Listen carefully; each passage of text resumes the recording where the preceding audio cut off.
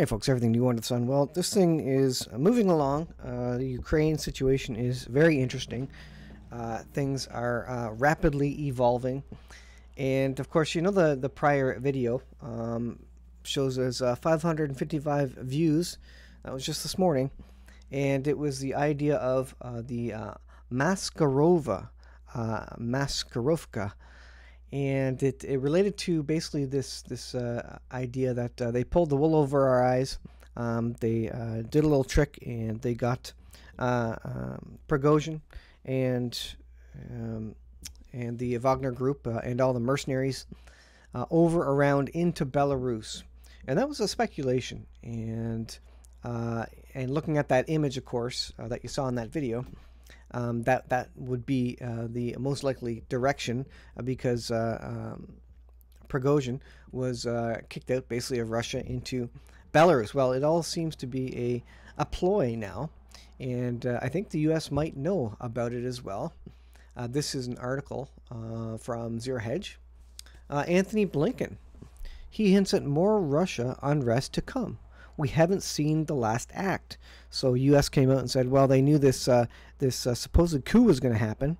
Do they also know that uh, the coup was actually um, all a ruse, all a charade, um, in, in, an effort to uh, get troops moved into place?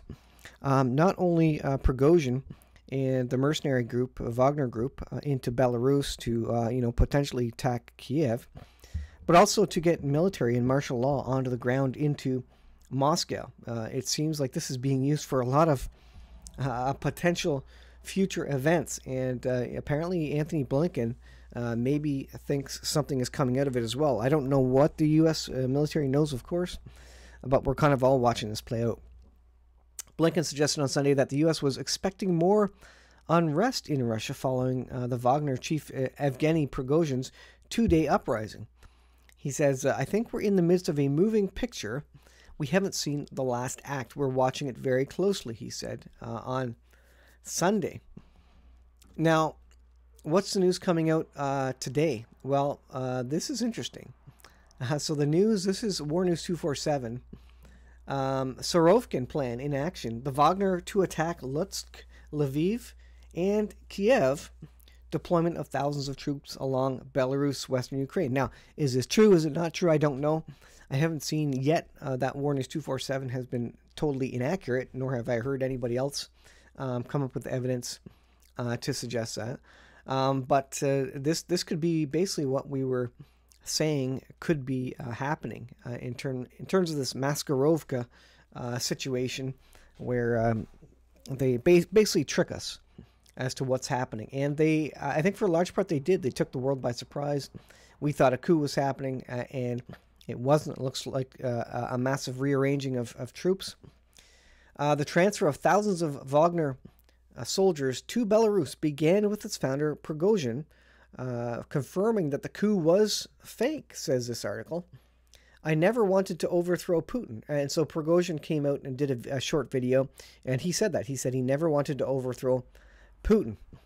The first information indicates that two camps are being built for Wagner in Belarus with a capacity of 8,000 soldiers each.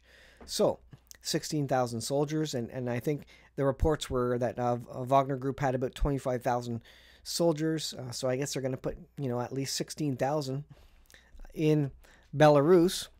And uh, what's going to come of that? Well, he, so his forces are uh, following along with him. It's not just Prigozhin. He's not going to he's not going to retire in Belarus. And uh, th- this is the speculation that we were saying that, you know, something didn't make sense. It was a little fishy the way it all turned out. Prigozhin, says the article, will soon open a second front from Belarus targeting western Ukraine. Uh, and this could mean that Russia could move in along its border and take over, and Prigozhin and mercenaries could, uh, you know, take the the northern border there in Belarus. Uh, it says it is also significant that the Wagner recruitment centers were reopened throughout Russia. Forces are being assembled for the final assault. Again, according to this, propaganda on both sides. Take it with a grain of salt. Um, you make your uh, uh, your decisions on what is accurate, what is not here. So the recruiting, uh, apparently two new uh, bases of operation for uh, the Wagner Group. The first camp is being built in um, Mogilev region, 200 kilometers from the border with Ukraine. Its area, as reported, will be 24,000 square meters and accommodate 8,000 soldiers. It will be completed by Tuesday afternoon with fast track procedures. So they're they're moving quick. They know their time is short because uh, Ukraine is going to have to move its troop, troops after the coup. After Ukraine thought maybe there's a coup headed up to Moscow, it wasn't getting ready for soldiers on its northern border. Although they do have um, defense there, they were probably not uh, look expecting a complete uh, different uh, zone of offense uh, to be coming from Russia or Russian proxies. Uh, it says, uh, we wrote then Moscow is going to be extremely risky offensive operation with Lutsk as the first target and Lviv as the final target, while at the same time there will be two more units that will keep Ukrainian forces busy in Kiev and Chernihiv. Kiev is not a primary target, apparently. Uh, if the plan gets out to Russians, then it will not only cause will not only cause the end of Ukraine, but also the end of Moldova. So Moldova is being pulled into this, who's in the southern part of Ukraine. The Russians intend to advance vertically by sealing the border with Poland, opening a path to Transnistria. So, what's in Transnistria, folks? Well, that's where the big arms depot is that the Ukrainians and the Russians have been fighting over. So, to have a new line of uh, offense defense open, a new line of war, uh, a new vector means that uh, Ukraine is going to be stretched thin on uh, you know three different borders, three different areas potentially. Uh, now, apparently, with you know more Russian soldiers into the mix, that, that's what it seems to me. Um, the main target is Lutsk region. The first targets are the cities of Sarny and Kovel. The initial attack will be made by infantry only. Um, so here is here is a tweet by uh, Fantuk's News.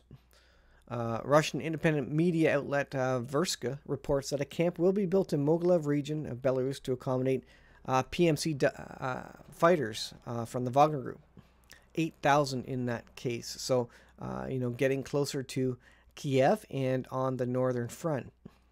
So we have here, um, so this in the middle is, or the bottom right hand corner of this is Kiev uh, so far as I know, it's in uh, Russian, I guess, but in Kiev, and you have a bunch of circles there, kind of showing um, maybe the offensive lines that uh, the Wagner Group uh, may be um, looking to deploy. And uh, again, I wish I could speak uh, Russian there, but Wagner's camp in Belarus is the title of this, and then you see a, a kind of a march to what I what I believe is Kiev there. Um, so you know, yet to be seen what's going on there. But this is an update from uh, Al Jazeera. And uh, uh, let's see, there's a couple of new things here. Uh, apparently, the Belarusian leader uh, Lukashenko, who you know apparently orchestrated and, and initiated the deal to you know quote unquote release uh, uh um, has is going to make a statement later today, Monday. Um, the Telegram channel said Lukashenko will answer everything very soon, apparently. And uh, of course, the U.S. is saying, you know, they had no involvement in any of this. Um, they weren't involved, so so that's interesting. Um, Moldova, note that Moldova was mentioned there, uh, and Moldova may be a part of uh, the next wave of attacks, uh, as Transnistria is basically a, a, small slice of Moldova to the south of Ukraine, um, uh, up by the, the water there. Um, and uh, Moldova could be taken over. And Moldova PM says Russian mutiny shows Moscow's weakness. Well, maybe not. Maybe this is all kind of 3D, 4D uh, chess that's going on. And uh, they actually um, uh, made a move now to get uh, more, uh, you know, the mercenary group on the northern front, Russia to move in on the, the southern front and maybe take that arms depot. Um, and here's the, the latest information from Biden basically says that you know, they weren't involved in the mutiny. Um, you know, who knows?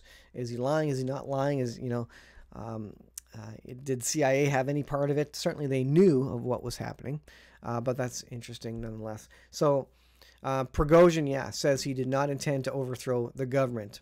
And it looks like all a plan. Uh, maybe he was offered some more money, and so now he's basically moving to uh, Belarus.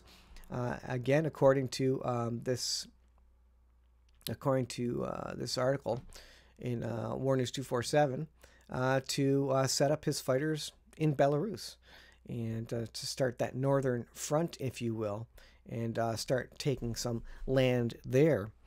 So interesting situation, uh, and we'll keep following this. Apparently, the U.S. has no idea what's going on. they said they weren't part of the you know um, the the coup or whatever it was.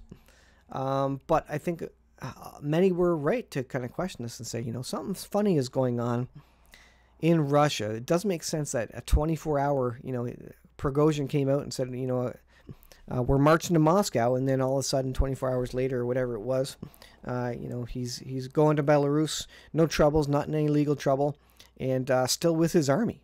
Uh, that Moscow would allow him to leave with all his army and then set up bases in Belarus. Well, that just tells you right there that if that is true, uh, then this was all fake. This was all a ruse. This was great theatrics, uh, basically uh, in an attempt to move uh, the Wagner group, all the mercenaries, all the hardware up through what Russia and over to Belarus to basically switch positions and to get them a little bit of time so that Ukraine couldn't uh, mount, uh, you know, counteroffensive or move defensive forces quickly enough. Because now, now Ukraine's going to be scrambling with all this information um, to to get around and spread its forces out even more thinly uh, to uh, to the north part where uh, they could have active incursions and attacks on Ukraine, and they're getting ever closer to Kiev now. Which you know, if that's the main city, if that gets taken down, uh, you know, Ukraine is effectively no more at that point. So.